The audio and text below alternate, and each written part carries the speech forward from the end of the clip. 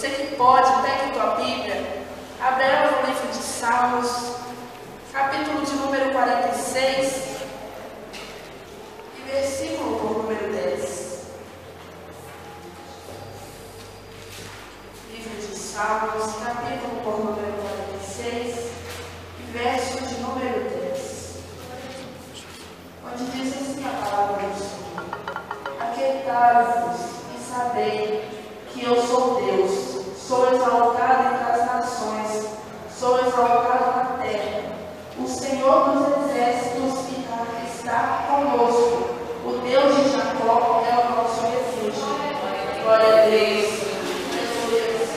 Queridos, quando o Senhor me deu esse versículo para que pudéssemos estar meditando nesta noite, o Senhor me falava acerca de como o povo de Deus tem sofrido, como o povo do Senhor tem passado lutas, como nós, nós temos tido aflições.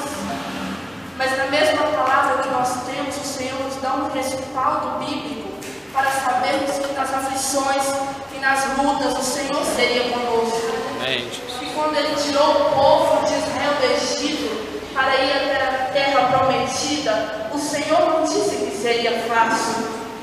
Ele disse que seria com aquele povo a todo o tempo. Mas no meio da igreja, às vezes quando a luta vem sobre a minha, sobre a sua vida, nós desanimamos, murmuramos, queremos sair da presença de Deus, da casa do Senhor, quando Deus ainda está dizendo: Ei filho, eu cuido de ti. Ei igreja, eu não perdi o controle da situação, eu ainda estou no comando, e agindo eu na tua vida, ninguém pode impedir. Se você comece a glorificar o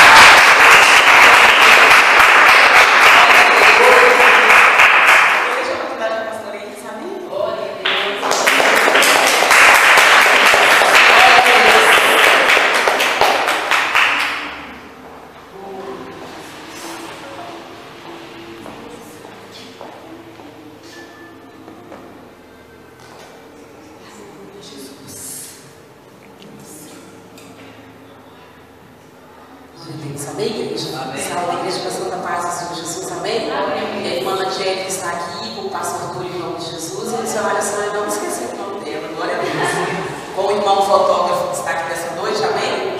O chamado dele é esse nas igrejas. Amém?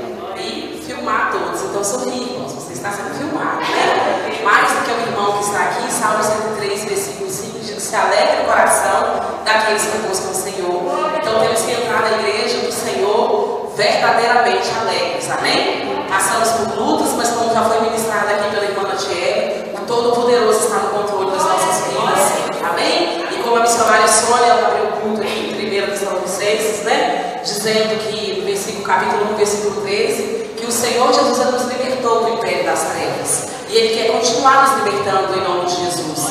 É só você abrir o seu coração nessa noite e deixar Deus, em nome de Jesus, entrar dentro de si nessa noite. E a libertação ela vai acontecer por completo. E Deus ele te pede para você, em nome de Jesus, interceder nessa noite. Vamos ente seu querido, mas interceder com fé. Tenha fé em Deus, igreja. Porque o Todo-Poderoso está aqui é o Deus que pode transformar a vida dos nossos em nome de Jesus. Amém? Glória a Deus. Então vamos louvar o Senhor